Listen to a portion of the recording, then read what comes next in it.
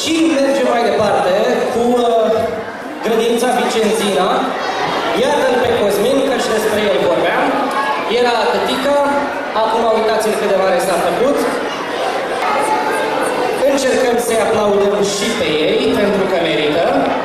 Încercăm să luăm loc în sală și să facem liniște. Pentru că acești copii sunt foarte micuți, lucrează foarte mult și au nevoie de sprijinul vostru. Cenzina. Cum o ciocănei mulți? Cu cine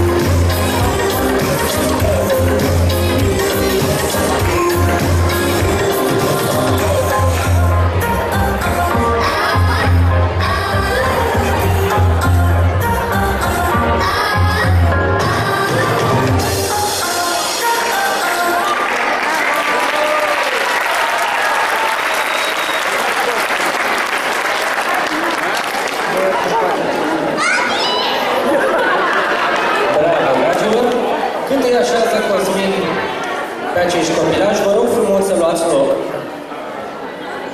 sunt micuți și au nevoie de sprijinul dumneavoastră și se blochează când văd zunze din sală, așa că vă rog să faceți liniște, să încercați să luați loc, ca să le acordăm respectul care merită,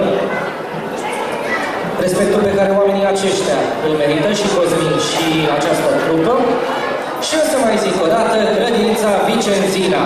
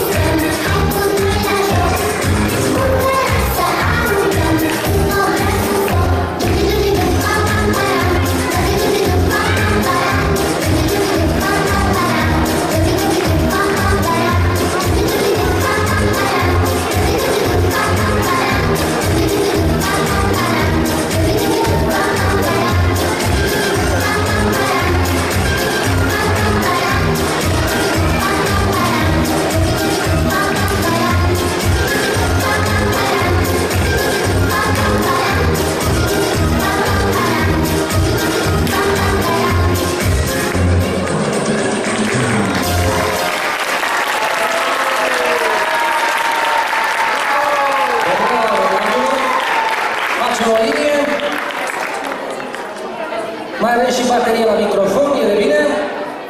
Domnișoara, treceți lângă domnul. Cred că deja am putea să-i spunem bunicul Cosmin sau tataie, depinde. Facem o plecăciune. Așa, așa, așa, le dăm calourile.